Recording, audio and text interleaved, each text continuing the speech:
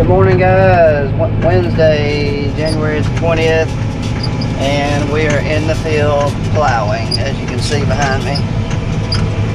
We're knocking down beds. This particular field was bedded for several years. Anyway, we're knocking the beds down and we're going to flat plant it. Uh, it's not necessary to have beds in this field, so uh, we are smoothing it out and I'll have Mark come behind me with the rolling basket and run over it. I know one time, maybe twice, to, to really bust up the clods a little more and make it look real pretty. And then it'll be ready to plant. So, that is what we're doing today right now. So, hope y'all enjoy the video and uh, come along with us. I got through with the two fields that I was doing. Got over it one time.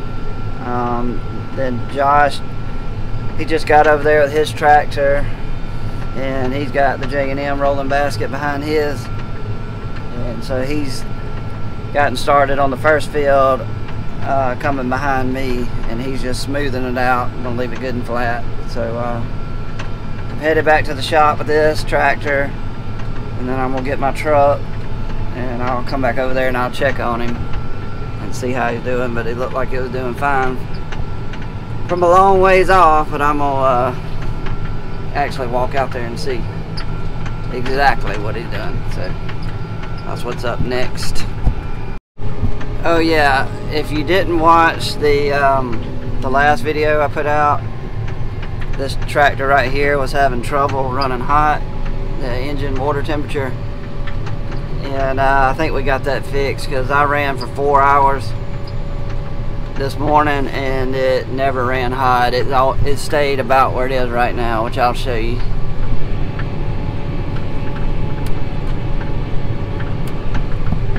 That's about dead in the middle of uh, between hot and cold. So I think it was just low on water finally we got enough water into it to where it was circulating properly. So don't have to call the case man. We got it fixed.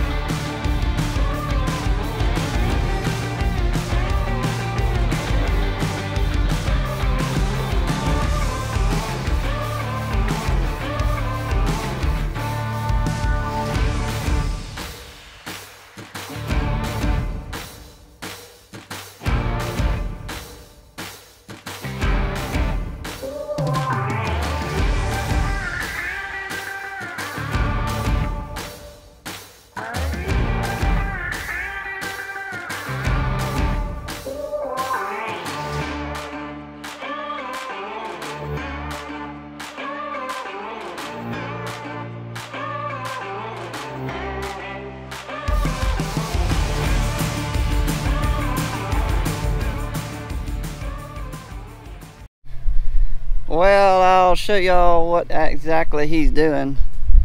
Um, I guess y'all saw all the drone footage, but um, this is the way he's leaving the ground.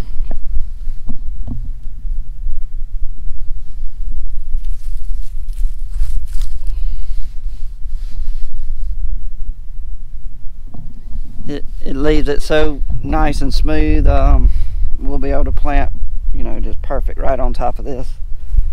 But, I mean, this is one of our sandier fields, so it's going to leave this field looking really, really pretty. That was, uh, he's already made one pass, and now he's on his second pass. So this, this is the second pass right here. And I'll show you while I got you. Walk right over here and I'll show you this is what the first pass looks like. You can tell it's got, you know, some clods that didn't quite bust up. But um, for the most part, you could plant right into this if you needed to, if you're in a hurry. But we got time and um, it's good to do it right behind. Like you need the disc while the dirt's soft, to come back behind the disc the same day with the rolling basket what Josh is running. So it'll really bust up those clods. And, uh, and if you can go over it twice if you need to, right behind each other, uh, it'll, it'll leave it even, even more prettier. Um, but see like this hole right here, like that's not what we want. That, that's a little hole right there and if your planter was running right here you know it's gonna have a hard time putting the seed the correct depth so this is the way you want it right here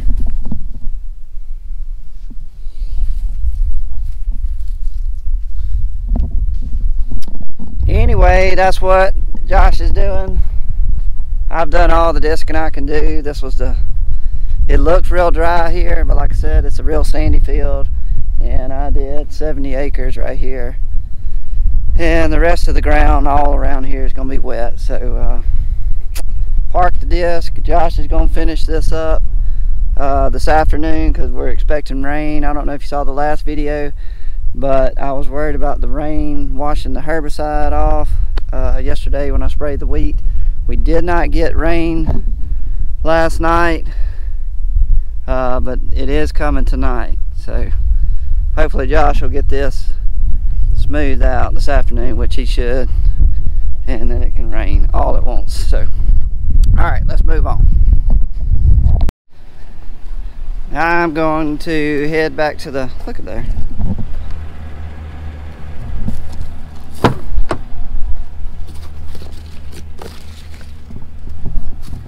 I'm gonna head back to the shop. Um, I may hook a tractor to a Paratill which is another plow and uh, I may get a tractor hooked up to one of those and come up here and play around with it and uh, see if the conditions are dry enough to run it. So back to the shop. Well you can scratch scratch that idea of hooking up a Paratill. Um, Josh just called me and he had a bearing go out on the rolling basket.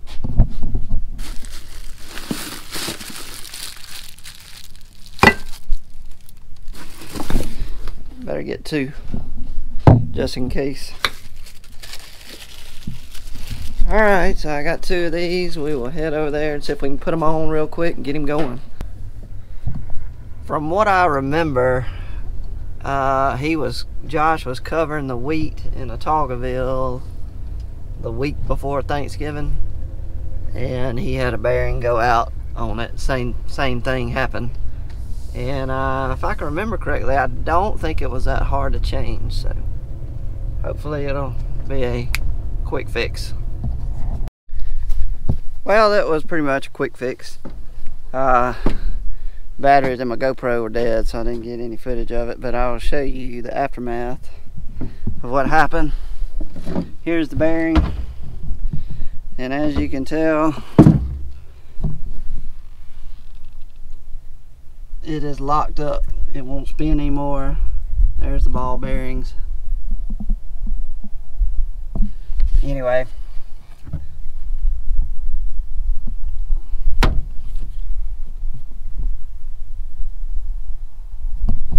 just just worn out um, this particular machine, uh, or plow, I should say, we haven't replaced any bearings on it and until that one that went out in November. So that tells me that the lifespan of these bearings are about to are about to end.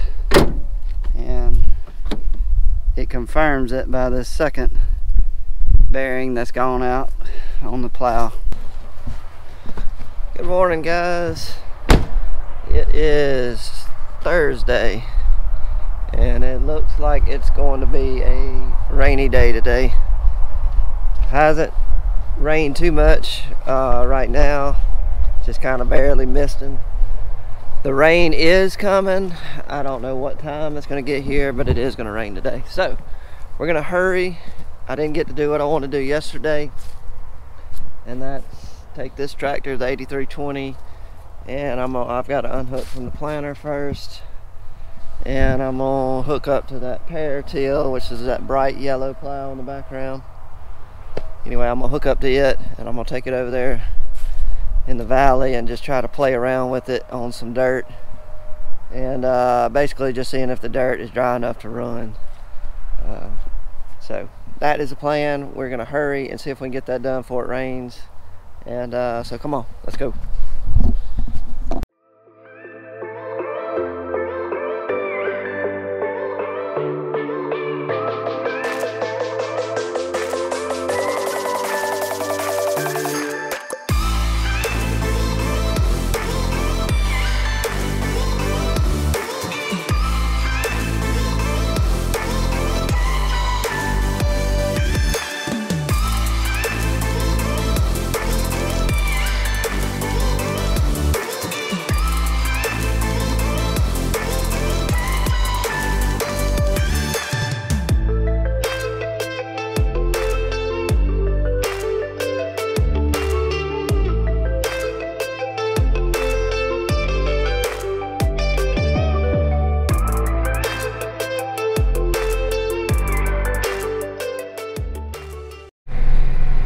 hooked up uh, the plow is ready to go and the reason I know that is cause, because we pulled our Para Tills in the shop um, about a month ago and uh, went through them got them all ready to go and uh, actually painted them that's why they have that nice fresh coat of yellow paint. Safety yellow uh, so it's ready to go and I had another bonus today. Uh, the tractor was actually full of DEF and full of diesel. So I didn't even have to go fill up with that. But unfortunately it is starting to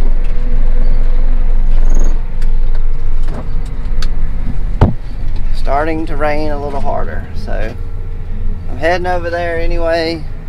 Uh, maybe I'll just get at least one pass done or something, but we're gonna try.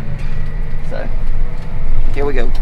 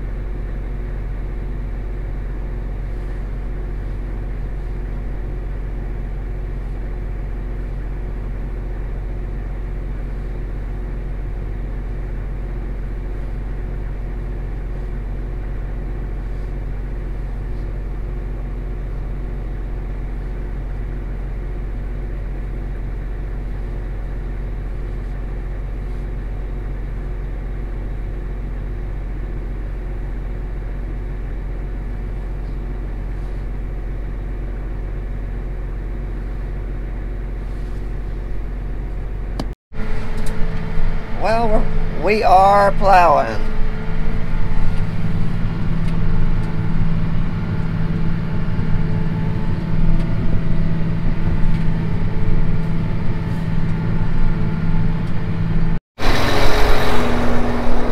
Alright, I'll show you the plow and what it what it's meant to do and the design of it. But this is a shank right here. And that shank is curved because it goes, the row is actually right here where my hand is. And it's curved because it goes in and then it curves and gets right here where the row is. So it's breaking all that dirt up that's right here where the row is. It's busting it up underground about that deep. Oh, 18 inches. And the point of the coulter is cutting any kind of grass, vines, anything that can get wrapped up right here. It's, it's chopping it where whatever was right there, grass or weeds, they'll just go to this side or that side. If you didn't have this, it would ball up right here with grass and weeds. It would just, and it would just uh, really tear up your seed bed um, where your next crop is going to be. But this is what it does out here in the, in the field. It basically goes through there. It went in right here and then it curves and right up under this this row right here is real soft and sometimes when you're getting real uh, type of dirt that's more clay can be a lot of cloddy harder stiffer dirt um, it'll leave a little gap right here. It'll raise this up and there'll be a gap where air can get down in there and dry out the soil we don't want that. So what I like to do is after we repair till we run that rolling in rolling basket J&M that we were using the other day. Just run it right on top and it just kind of mashes this down and kind of it doesn't mash it too hard it just seals the crack so no air can get down in there and dry it out. It just kind of just barely mashes it down but you'll see how soft it is right where this row is right now.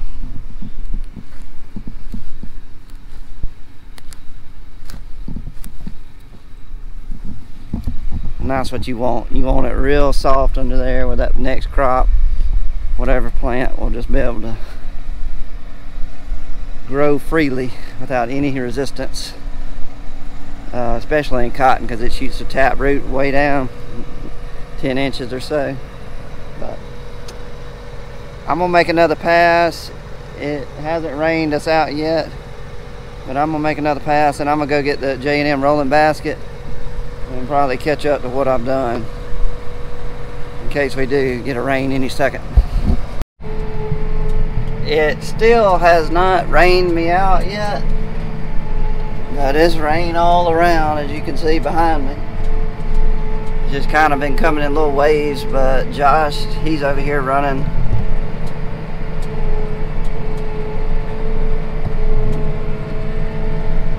I look behind him and see how he was doing and it looks perfect. Doing an excellent job.